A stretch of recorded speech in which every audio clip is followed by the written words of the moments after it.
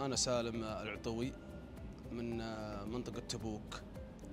شاركت في برنامج الرحلة الإبداعية حول المملكة العربية السعودية وأخذت المركز الثالث على مستوى المملكة العربية السعودية.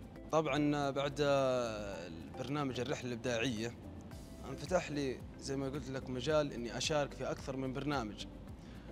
وكان من أقوى البرامج اللي شاركت فيها سعودي ايدل كانت لجنة التحكيم محفزة سواء إني تأهلت في البرنامج أو ما تأهلت. فيوم إني شاركت كنت متوتر. أول مرة يعني هل أنا راح أمشي ربابة؟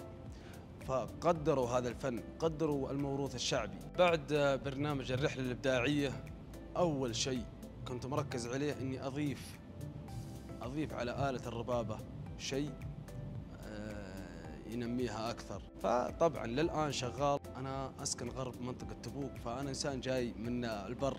شكرا مرة ثانية للرحلة الإبداعية اللي قدرت توصل لي وأنا في صحراء. وأنصح أي شخص عنده موهبة لا يتردد يشارك. اسمي اسماء عبد السلام الصباح. آه شاركت في الرحلة الإبداعية حقت MBC Academy آه بال season الأول وكنت ممثلة. بعد ما خلصت من تجربة الأداء دخلنا على النصف النهائي مثلت إني منقسمة الشخصية. آه كان كنت مرة فخورة بالتمثيل هذا. بعدين عاد رحت للنهائي ومثلت أربع أدوار إني بائعة ورد مغنية مذيعة عازفة بيانو.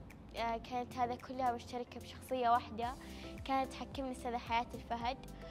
ومرة كان شعور حلو إنه فنانة زيها هي تحكمني.